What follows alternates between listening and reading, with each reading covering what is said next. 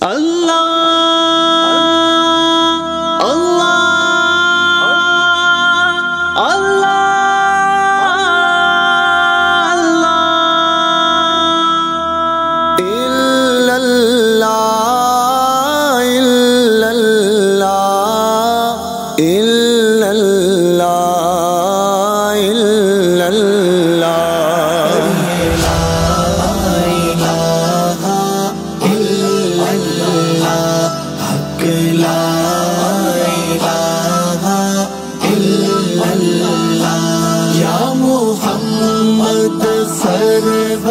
सल्ले अला पढ़िए ला इलाहा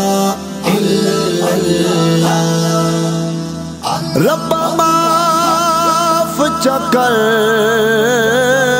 ਮੇਰੇ ਜੁਰਮਾਂ ਨੂੰ ਬੇਸ਼ੱਕ ਮੈਂ ਉਹ ਗਨਹਾਰਾ ਜੈ ਕਾਇਨਾਤ ਬਣਾਈ ਉਹਦੀ ਆਲ ਦਾ ਮੈਂ ਹੁਬਦਾਰਾਂ ਜਦੋਂ ਰੱਬ ਦਾ ਫਜ਼ਲ ਕਮਾਲ ਹੋਵੇ, ਆਕਾ ਦਾ ਕਰਮ ਵੀ ਨਾਲ ਹੋਵੇ, ਫਿਰ ਬੰਦਾ ਸਦਾ ਖੁਸ਼ਹਾਲ ਹੋਵੇ ਖੁਸ਼ਹਾਲ ਹੋਵੇ।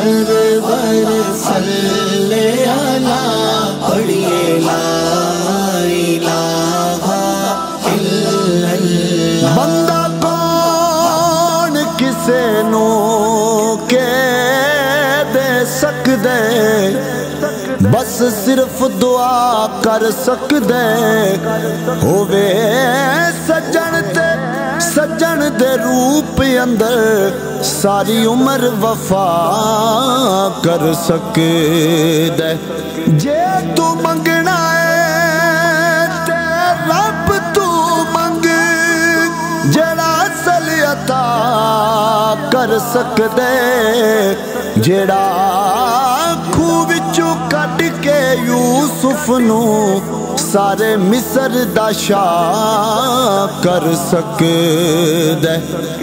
ਨਾ ਦਰ ਦਰ ਤੇ ਤੂੰ ਰੁੱਲ ਬੰਦਿਆ। ਮੂੰ ਰੱਬ ਆਪਣੇ ਵੱਲ ਕਰ ਬੰਦਿਆ।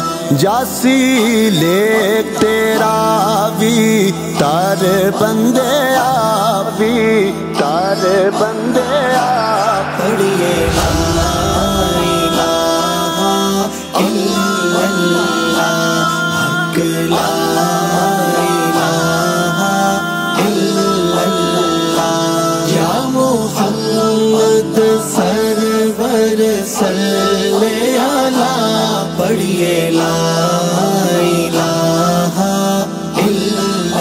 ਮਾਤ ਪਿਓ ਜੇ ਦੋਵੇਂ ਸਜਣੋ ਰੱਬ ਦਾ ਮੀਠਾ ਮੇਵਾ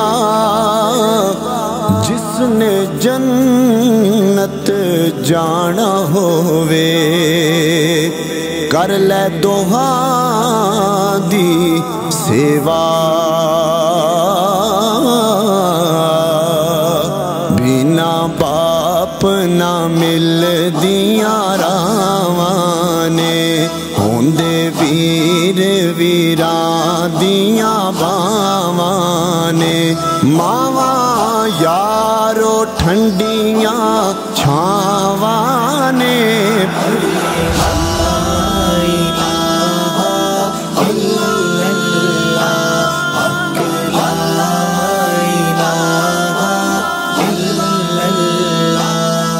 मोहम्मद सरवर सल्ले अला पढ़िए ला इलाहा